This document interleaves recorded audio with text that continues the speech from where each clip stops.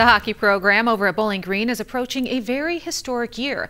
Not only is the complex coming up on its 50th anniversary, but the arena received a hefty gift along the way. Our very own Mark Coons explains.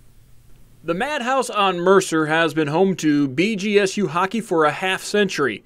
And thanks to a $2 million gift from BG alum Scott Slater, the facility is getting a new name and a facelift, but isn't going anywhere talked to a lot of people. Uh, my original thought was, you know, it's always served us well, and it's been an exciting place to go to games. And talked to a lot of previous players, previous coaches, and then the current players and coaches. And I think to the person, uh, everybody feels like we want to just fix what we've got as opposed to build a new one.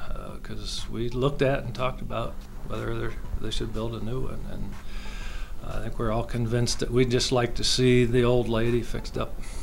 The Slater Family Ice Arena honors not only the Slater family, but all the families the rink impacts. Viewed it as a community asset, uh, although technically it's BGSU's, uh, but it's been a benefit for everybody in town, including, you know, my family. We've all been there for lots of times and uh, for a lot of years. So I hope it, hope it stays. That's what we want it to do is continue. Talked to a lot of people, and I think it was almost unanimous to everybody that it should be a family type of thing. Uh, you know, it's not just for the Slater family, but it's for lots of families in Bowling Green. Design studies are underway to determine how exactly the gift will be utilized, but Slater already knows some key areas that will be impacted. But we want to expand the weight room for the hockey team. Uh, we want to do something for the high school uh, locker rooms, and we want to actually get a girls' locker room there, which there's not at the moment. And there are several girls participating in the programs now.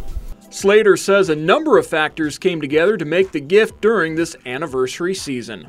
I think a lot of things happened to just make it happen there. Uh, I think it was more by chance, or maybe it was just meant to be. Uh, just a lot of things going on. Uh, you know, just know that the university needs to do something with the facility because we need to uh, update the uh, ice making equipment primarily, uh, get rid of the Freon.